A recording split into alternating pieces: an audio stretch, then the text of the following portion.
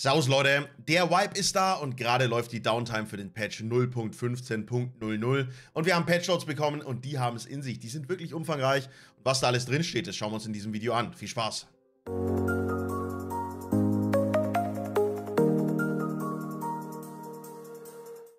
Der Patch 0.15. Die Downtime wird circa bis 16 Uhr gehen, wenn alles glatt läuft für Tarkov und Arena. Da kommen wir gleich noch zu. Und die Patch Notes verlinke ich euch natürlich auch unten, wenn ihr es selber mal durchlesen wollt.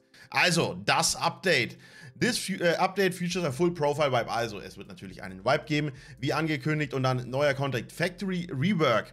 Ähm, Factory wurde komplett überarbeitet, dazu gab es schon Bilder und ich glaube auch äh, bewegte Bilder, ich bin mir nicht sicher, auf jeden Fall konnten wir es schon auf der TwitchCon in ähm, Rotterdam mal anspielen. Also sie haben letzten Endes Factory reworked, es gibt wohl einen Außenbereich und ähm, sieht es einfach alles besser aus. Hat man auch im Trailer schon ein paar Teile gesehen. Wenn wir jetzt hier nicht im Detail durchgehen, durchgehen die Punkte. Ähm, sehen wir dann in-game.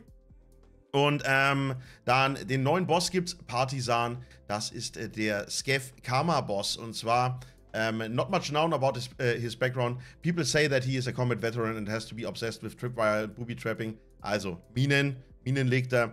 Uh, since those days, he is on good terms with Jäger. He is ein Kumpel von Jäger. Their goals and moral compass seems to be aligned, or perhaps it's their military past binds them together. Also, Kumpel von Jäger legt Minen. Partisan holds firm to his uh, principles in Tarkov and going after people he believes to be honorless and hunting them down. Um, whatever they be PMCs or Scavs. Also, wenn man niedrige Scav-Karma hat, dann jagt er einen, ob man PMC ist oder Scav. He has no ties to other local bosses. Er hat nichts mit anderen Bosses, Bossen zu tun. And tries not to cross paths with them. Um, also er mischt sich nicht in, in, areas ein, wo andere Bosse sind. His view on traders are similarly negative with the expectation of Jäger. Also er mag nur Jäger. Um, Fence Standing, also Scav Karma, hat damit nichts zu tun. And cannot be increased or decreased by helping uh, him or killing. Also als Scav kann man ihn killen und hat nichts mit dem Scav Karma zu tun. The boss appears to uh, in forest type locations. He is more likely to appear in a raid with low Karma PMCs. Also wenn ähm, PMCs in einem Raid sind mit äh, negativem Karma, dann ja, kommt er. Dann besteht die, oder umso größer ist die Chance, dass er kommt. In this case, Partisan will hunt those players down. If there are scavs with low karma in the raid, uh, will also become his targets. Also, ähm, Spieler mit niedrigem Scav-Karma werden von ihm gejagt. However, any player uh, has to be ready for the traps and expected a firefight when encountering this boss, regardless of their Karma. Also, wenn man gutes Karma hat und trotzdem an ihm vorbeiläuft, dann muss man ihm trotzdem fighten, er greift dann trotzdem an. Partisan prefers a stealthy approach, taking advantage of the terrain, setting traps in advance and only the engaging um, only then engaging in open combat. The process of preparing and exploring a location takes up most of his time, while open confrontations are less frequent. When fighting against multiple opponents, he can lure one of the players to his booby traps, which he has set up beforehand. Also, es ist wohl so, er ja, listet sich in den Bereich ein, vermint den und kämpft dann da und ähm, ja, lockt Leute auch wohl in seine Fallen. Mal sehen, wie das genau aussieht dann. The boss acts alone. He installs trip, uh, tripwires, actively uses grenades, can move quietly also er macht wahrscheinlich keine Geräusche, so wie, so wie Bird Eye und hat halt hier, ne, macht, äh, verwendet Granaten und ähm, Tripwires. Ähm, und er kann the terrain and track his targets for a long time across the whole location. Also er rennt wohl einem äh, äh, leise sehr lange hinterher. Ich denke mal, den wird man dann nicht los, wenn man einmal äh, ihn getriggert hat. Und dann kommt noch wichtig hier das Karma. Added a new hidden parameter, Karma. The Karma value changes depending on the player's actions.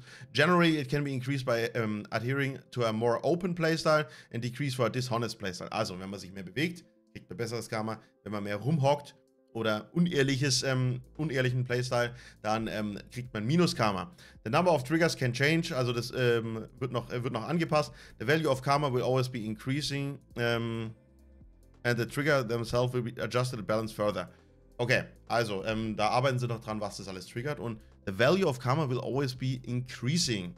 Achso, der Wert von dem Karma, nicht der Wert, der eigentliche Wert, aber ja. Ähm, äh, spielt halt mehr und mehr eine Rolle in der Zukunft. Ähm, in some cases, Karma changes can be tracked by distinctive sound notification. Also, in manchen Fällen kriegt man wohl eine, einen Sound in-game, wenn das Karma hoch oder runter geht bei bestimmten Dingen. Also, ab, äh, mal abwarten, wie das wirklich ist. Dann, sehr interessant, Map-to-Map-Travel. Also, man kann von einer Map zur anderen gehen. Der New, äh, und wird auch gleich mit einem Event eingeführt. Der Game Event Marathon. Ähm, during the Marathon event, Location Transit will be available to, in the corresponding Game Mode. Also corresponding Game Mode ist damit PvP gemeint. Um, Marathon is available only in PvP. Das ist der Game Mode. Um, players will receive a unique achievement. Es wird ein Achievement geben, wenn man dieses Event macht. Und wenn das Event fertig ist, wird es überall sein, also auch im PvE. After the event is over, um, ja, hier, all available. Added the ability to travel from uh, one location to another.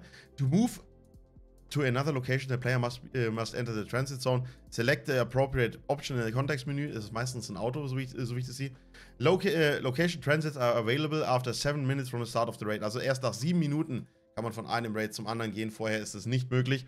During the transit, the player will be able to transfer some of the items found in Raid, which will be moved to Stash for a certain price. Also während man wahrscheinlich mit dem Auto oder so fährt, kann man ähm, dann Sachen in seinen Stash verschieben und dafür ein bisschen Geld zahlen. After transferring the items, the transit timer will begin. When activating the transit and transferring items, the ability to exit the current location will become unavailable and the player will be forced to use this transit. Okay, man muss wahrscheinlich eine Minute da warten beim Transit und man hat dann auch keinen anderen Exit. When attempting to transit in a group, players can use the transit only if a living member of the group are in the transit zone. Okay. Interessant, also scheinbar muss bloß einer drin sein. If several players who are not in the same group use the transit at the same time, they will be, will be transferred to the next location together. Solo players can join a group and also transit to the next location. Also ist egal, ob man in der Gruppe ist oder solo oder sonst was. Man kann auch theoretisch mit anderen diesen Transit nutzen. The available transit directions are marked on the dotted line in the location selection screen. Also man kriegt einen Screen, wo man dann auswählen kann. Edit the marathon achievement for visiting all locations in one raid. Ah, okay, man kann ein neues Achievement. Das ist nicht das, weiß ich, ob das das für ein uh, Players will receive a unique achievement, a marathon event. Ob das das Achievement ist oder nochmal ein extra Achievement, wird sich dann rausstellen. Auf jeden Fall gibt es ein Achievement, um alle, alle Locations in einem Raid ähm, abzufahren. Tripwires. Edit the Tripwire Installation Feature. Also man kann tatsächlich als Spieler Tripwires Minen legen. Mal sehen, wie das wird. Es wird gebalanced sein. Noch, nie, noch, äh, noch kein Grund, wirklich aufzuschreien. Es wird wahrscheinlich gebalanced sein. Edit the Tripwire Installation Feature. A single-use consumable item. The Tripwire Installation Kit is required to install the Tripwire. Also, man braucht das Tripwire Installation Kit und wahrscheinlich eine Granate. Und ähm, es kann nicht im, äh, cannot be found in Raid. Um, the kit will be available for purchase um, after completing Jägers Task. Also hinter einer Questreihe bei Jäger. Man kann es nicht finden. Man kann es nur kaufen bei Jäger, wenn man die Questreihe fertig hat. Mal sehen, wie das dann aussieht. When the item is in the inventory, the player gets access to the tripwire mode by using the B key, an appropriate uh, key on appropriate grenades. The grenade must be enhanced uh, to switch to the tripwire mode.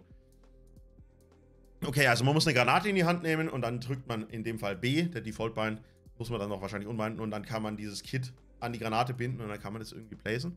The tripwire has a minimum and maximum installation length. It can be placed on, on any flat or slightly um, inclined surface. Also es kann eigentlich überall geplaced werden, es halbwegs gerade ist. Tripwires can be activated in a number of ways. By shooting the wire from a short distance.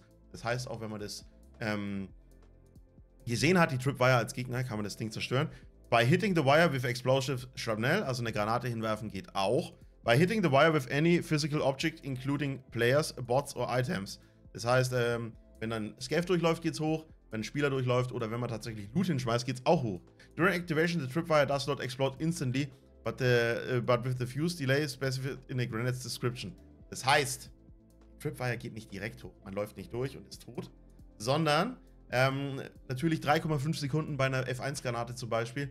Oder man hat eine Impact-Granate, die geht dann aber eine Impact-Granate dauert auch zwei Sekunden, bis sie hochgeht, wenn man sie einfach so zieht. Also man hat dann einen kleinen Delay. Das heißt, dass es äh, nicht gleich hoch geht, sondern ja, man hat halt noch Zeit wegzulaufen. Und ähm, ist eine gute Sache eigentlich. Also sehr, geht schon sehr in die Balancing-Richtung. Das heißt, es ist nicht so, wie sich viele vorgestellt haben, dass man durchläuft und tot ist. Das wird nicht passieren. Gute Sache, sondern Gran der Granatendelay ist mit drin. Tripwires can be disarmed. To do so, approach a booby-trapped uh, booby grenade and disarm it through the context menu. Also man kann es tatsächlich entschärfen, indem man hingeht und hat dann, hat dann die Option. Disarming takes a certain amount of time. Having a multi-tool in your inventory significantly reduces this disarming time. Also wenn man ein Multi-Tool auf dem Special Slot hat, geht es schneller. After disarming, you can pick up the grenade used in a tripwire. Also man kann die Granate dann nehmen und sie selber verwenden. Tripwires disarm on their own after a certain amount of time. Nach einer bestimmten Zeit äh, sind Tripwires, ähm, ja, ähm, äh, entschärfen sie sich selbst. Interessant. Mal sehen, wie lange diese Zeit ist, wie lange so eine Tripwire dann bleibt. Also, ähm, sie bleiben wohl nicht den ganzen Race, so viel ist sicher. Dann, B-Pods auflegen und also B-Pods and Weapon Mounting auflegen. Edit the ability to mount weapons and use B-Pods. Mount uh, to mount a weapon, player uh, must distribute horizontal. Also man muss sich halt vertical, also man muss an einem ja horizontalen oder vertikalen Oberfläche muss er sich befinden. Und dann Mount drücken. Der V ist Default. Das muss man, kann man sich dann binden. Ähm, Recall und Stamina werden dann reduziert. Also der, äh, der Stamina-Verbrauch. Ähm, to mount the weapon on a B-Pod, press the toggle B-Pod äh, Control V. Also man hat halt bei manchen Waffen hat man vorne den B-Pod und dann kann man mit ähm, Control V den ausklappen und ähm, dann geht es selber. Also es gibt halt die Option, an der Wand anzulegen oder einfach so anzulegen oder halt mit B-Pods. Und ähm, B-Pod-Mounted Weapons hat man halt viel, viel besseren Recoil und Stamina und sonstiges. Mounting the weapon by prone is only available if the B-Pod is installed. Also nur im Liegen auflegen kann man nur, wenn man B-Pod hat. Ähm, und unten gibt es wohl einen, einen, einen, Indikator, ob man gemountet ist oder nicht. Dann und, und man kriegt auch angezeigt, ob man überhaupt mounten kann. Okay. New Hideout Zone, Gear Rack, also es gibt diese, äh, diese ja, Schaufensterpuppen, die man ähm, ja, anziehen kann und da auch komplette Presets runterziehen kann. Haben wir schon gesehen im, ähm, im Podcast und auf Twitter. Each level adds a mannequin which can be used to display any gear equipable on your PMCs. Drei Upgrade Levels gibt es in diesem Ding. You can equip gear from the mannequins or the gear already equipped with your PMC. Also man kann es auch direkt Ne, was man anhat und das, was auf der Puppe ist, einfach direkt switchen. Pouch-Items und Splash-Items ähm, sind davon nicht betroffen. Mannequins Gear is displayed in the list of kits window. You can equip a kit from a mannequin there. Okay, man hat also ein Auswahlmenü, wo man das sieht. Neue Hideout-Zone, Cultist Circle. Das ist so, ja, so, ein, so eine Gamble-Zone, ähm, wo man irgendwelche Rezepte ja, köcheln kann. Mal schauen. The new cultist circle is located outside the main hideout, okay? You can sacrifice, uh, sacrifice up to five items. Also man kann da fünf Items hin tun und die werden geopfert und ähm, the value of each sacrifice item is added up. To, uh, total determines the value of items received as a gift from the cultist. Also man kriegt dann irgendwas zurück, wenn man was geopfert hat und äh, ja, das ist halt, da gibt es wahrscheinlich spezielle Kombinationen, die man dann machen kann und ähm, kriegt dann spezielle Sachen zurück. The cultist cannot deliver items while you are in the hideout. Ähm, okay, die Kultisten kommen nicht, während man in dem Hideout ist, also man sieht sie dann nicht herlaufen. The value of a single sacrifice is above a certain threshold. If there, there's a 25% chance to receive items needed for active tasks in unfinished hideout zones. Ah, man hat eine 25%ige Chance, dass man ähm, Sachen kriegt für aktive Quests. Das heißt, wenn man Quest-Items sucht, kann man da Sachen äh, opfern und kriegt mit 25%iger Wahrscheinlichkeit das Quest-Item interessant und genauso für Unfinished Hideout Zones, ne, wenn man halt viele Quests offen hat und Hideout Zones dann, ja, ähm, 25% verteilt sich dann auf all das.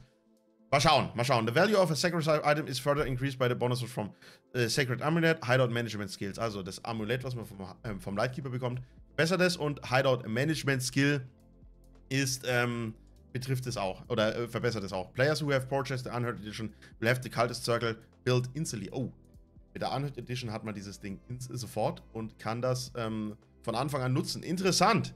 Dann ähm, das AI Enemy Reaction System, also sie haben halt AI verbessert, äh, nehme ich mal an. Added Variations in AI Behavior für ähm, Spotting another AI Player in der PvE Mode. Okay, Possible Reaction, Instant, Instantly Aggression, also ähm, AI gegen AI im PvE. Total Friendliness, Friendly Unless Shown Aggression, Instantly Aggression, äh, Warning and Attacking, not, äh, Neutral Unless Shown Aggression. Ähm, sie haben halt sozusagen Mut, sie haben, äh, sie haben Stimmungen. Okay, ist jetzt PvE und es kommt wahrscheinlich auch später im, P, äh, im PvP Decision, Decision, okay. Geht rein um äh, erstmal PvE, um, um AI, wie die sich gegenseitig, gegenseitig angreifen oder eben nicht. Da gibt es jetzt hier fünf, fünf Optionen und später auch wahrscheinlich im PvP. F äh, Faction Interactions will be implemented and balanced further in, äh, in both PvE and PvP Modes. Okay. Dann neue Waffen ähm, und Equipment und Loot. Die Uzi wird es geben in 9x19.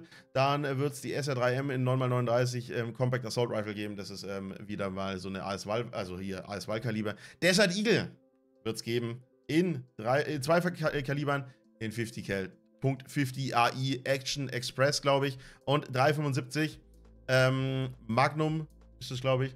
Also auf jeden Fall gibt es die Deagle in 50 Cal, das ist das Interessante. Also neues Kaliber wurde eingeführt. Und dann gibt es hier die M60 in 762x51. Dann außerdem Updated Weapons, äh, Weapon Models, also die wurden überarbeitet. Ähm, AS-Wahl, Winterest, die Kedda, die Kedda und die Klin. Ähm, wurden die Animationen und so weiter äh, überarbeitet. Gab es auch schon Videos zu. Neues Kaliber, 50, äh, Dot 50 Action Express für die Deagle. Dann neue Amos, gibt es vier verschiedene. Mal sehen, wie die dann sein werden. Können wir jetzt ja in-game sehen. Ähm, weitere Waffen-Improvements, New Weapon Attachments, Adjusted the Functionality for Pistol Grips bei der Makarov-Pistole, okay. AUG A1 und AUG A3 haben jetzt ähm, Operating Gas Pisten, dass man sieht, okay. Added some äh, Animations, ähm, Okay. Updated the granite animations. Okay, neue Granatenanimation. Added a new type of equipment, Armor, Helmets und, und so weiter. Also neue Armor, neue Helme, neue Options für äh, Character Customization. Müssen wir uns dann in-game anschauen. Und ähm, dann Quality of Life Improvements. Hier kommt was Interessantes. Optics Zoom Adjustment, also var variabler Zoom. Added the ability to smoothly adjust Zoom in the following optics. Also bei allen Scopes wahrscheinlich. Und ähm, Alt, Scroll Up, Scroll Down ist ähm, zum Rein- und Rauszoomen. Standard-Bind, okay. Da muss man einiges in den Binds dann machen. Also, Smooth Zoom oder Variable Zoom ist jetzt im Game. Man kann einfach rein rauszoomen, stufenlos und nicht nur umschalten. Mal sehen, ob es das Umschalten trotzdem noch gibt. Das bleibt abzuwarten. Ähm, Außerdem gibt es ein Granatenmenü, Selecting Granate with G. A new icon hotkey is available und man kriegt dann so ein, so ein Menü, wo man die genaue Granate auswählen kann, welche man werfen will. The Dropdown List is displayed uh, only unique grenades with their respe respective quantities. Okay. Flashlight in Tactical Device Operation Mode. Added the ability to activate Tactical Device and Flashlight by pressing or holding a, a hotkey. Okay. Holding. Ich weiß nicht, ob das jetzt dann auch wirklich eine Animation ist. Also, man konnte ja Flashlights und Tactical Devices vorher schon an- und ausmachen. Mal sehen, wie, wie das dann ist. Man kann es jetzt auch halten. Okay, vielleicht ist das gemeint. Mal schauen. Manual Value Entry äh, in Game Settings. Also, man kann jetzt einfach ähm, eintippen, welchen Value man haben will. Ähm, Hotkey, also bei Einstellungen. Hotkey Adjustment, updated the sorting order of hotkeys in the control settings. Okay, sie haben ein bisschen ähm, bei den Controls die Ordnung ähm, verändert. Balancing changes, simplified the objectives for task, setup and long road. Also Setup wurde ver äh, verändert und long road. Mal sehen, vielleicht sind es keine 15 Kills mehr. Ähm, bleibt abzuwarten, was damit äh, gemeint ist. Es wurde auf jeden Fall vereinfacht, simplified. Diese zwei Quests. Completely removed trade offers for Class 6 Body Armor. Das ist wichtig. Plate Carriers, Ballistic Plates and Helmet Modification from Traders. These items can only be found in Raid. Also, 6er Body Armor ist nur noch found in Raid, kann nicht mehr gebarter traded werden oder ähnliches. Und ähm, ja, man kann die 6er Platten nur noch finden. Das heißt, es ist wirklich guter Loot. 6er Body Armor ist auch sehr stark, ähm, wie man auch zum Schluss gesehen hat. Von daher finde ich das voll okay. Change the avail availability of ammo on the flea market. Now all ammo with less than 42 penetration is allowed on the flea market with a few expectations. Also, jede Muni mit unter 42 Penetration ist jetzt auf dem Flea. Habe ich jetzt gar nicht alles im Kopf, was das ist. Schauen wir uns dann in-game an. Ähm, ich glaube, da sind jetzt ein paar mehr verfügbar, wenn ich das so richtig deute. Und ja, es gibt ein paar Ausnahmen. Also muss man sich dann anschauen, wie es dann am Ende wirklich aussieht. Ähm, increase the damage of 762 mal 39, 545 mal 39 und 9 mal 21 Calibers. Also AKM bzw. Mutant und RD 704 und die 545er AKs äh, wurde der Damage erhöht. Das ist gut. Ähm, äh, vielleicht rutschen die wieder ein bisschen mehr ins Meter. Slightly reduce the damage of some 556 Kaliber. Einige 5 und 6 ähm, Kaliber wurden, ähm, oder Ammos äh, wurde, wurden reduziert. Okay, mal sehen, hoffentlich nicht die Meta-Ammo, weil 556 macht allgemein schon recht wenig Ammo. Aber ja, Technical Changes, Equipment Clipping, also es gibt kein Clipping mehr, wenn man irgendwas anhört, dass das durcheinander durchklippt und so weiter. War Nikita sehr stolz drauf auf Twitter, das ist jetzt in-game. Animations, Rework the Animation Playback System, Increase the Accuracy of First and Third Person Synchronization. Also Animationen für First Person und ähm, Third Person ist jetzt mehr akkurat. Ihr kennt es vielleicht, dieses Waffe hochgehen, was man in der Third Person immer sieht, wenn einer getroffen ist. Das ist jetzt vielleicht weg, weil in der First Person hat man das ja gar nicht. Ähm, Optimized Left Shoulder Animations for more smoothness. Also sie haben die, äh, wenn man auf die linke Schulter geht, haben sie die Animation überarbeitet. Added Special Door Interaction Animations. The number of interactive objectives animations will increase further for the für Special Door Interaction Animation. Also mit Türen öffnen und so weiter und vielleicht auch aufschließen und so, da haben sie die Animation überarbeitet. Das ist gut. Graphics, redesigned the weather condition display system in the player's client, fixed the bugs where led to unpredictable weather conditions in the raid in certain cases. Also, Weather, Wettersystem überarbeitet, ähm, Cloud Visuals überarbeitet, Clouds react to weather changes more drastic, realistically.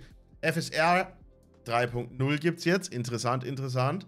Das ähm, hat auch Frame Generation, wenn ich mich nicht, äh, nicht täusche. Remove Support for FSR Version 1.0, also 1.0 FSR fliegt dafür raus, aber 2.0 geht eh auf jeder Grafikkarte. Äh, switch the in-game Season to Summer. Also es gibt jetzt wieder Sommerwetter. Ähm, Sound. Sound wurde überarbeitet. Ähm, ganz schön lange Liste hier, ne? Ganz schön lange Liste. Improve the environment syst sound system. De uh, developed a component that tracks the position and rotation of listener and moves the source along pre uh, pre predetermined curve.